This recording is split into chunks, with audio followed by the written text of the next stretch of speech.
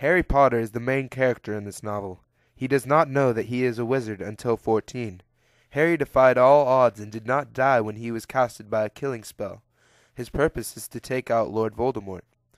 Ron Weasley is a red-haired boy and becomes Harry's best friend.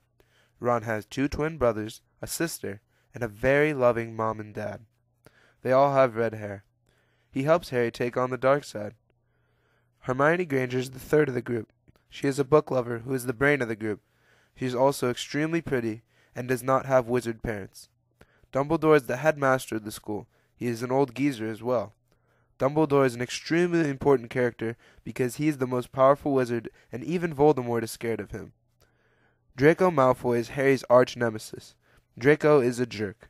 He thinks he's way legit, but he must quit. He comes from a long line of good wizards, so he thinks he's pretty cool. Professor Quirrell, or Prof. Quirrell, at first, is really good teacher, but you start to see a trend among the defense against the dark arts teachers. And this particular one starts off with him being overpowered by Voldemort and almost killing Harry.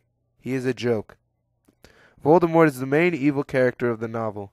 He is always on Harry because Harry was the boy who lived, and he must have his revenge. Maybe one day this cat will learn his lesson.